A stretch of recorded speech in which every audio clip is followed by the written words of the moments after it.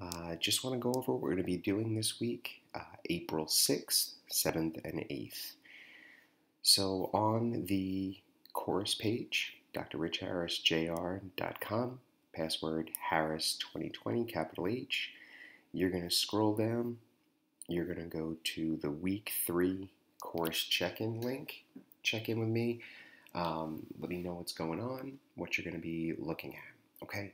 This course week two, three assessment is not due this week.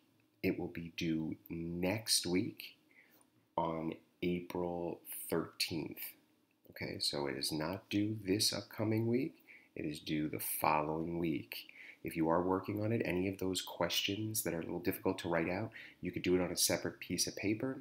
Take a photo and send it to me. If that's an issue, uh, just send me a message, I'll remind, and we'll figure it out this chorus song bracket uh, and Spotify song list we will be going over, uh, but that will not be until next week. We're going to listen to a bunch of different choral classic songs and uh, come up with some of the winners. It's a lot of fun.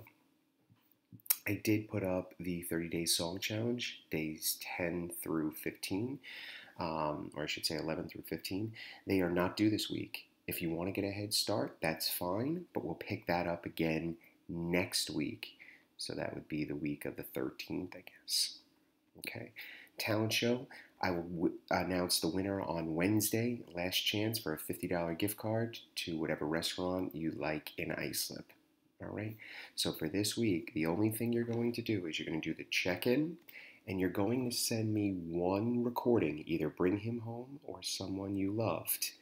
Remember, you're doing it as a voice memo and you're using the piano track. Okay, so you're going to have headphones on with that, listen to it, and record on another device. If you're not sure how to do that, let me know.